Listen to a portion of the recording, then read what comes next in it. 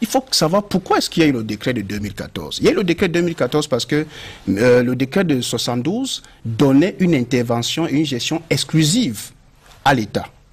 Or, les organisations sportives internationales demandaient, avec la démocratie sportive en 1990, que les, fédérations gèrent l'équipe nationale.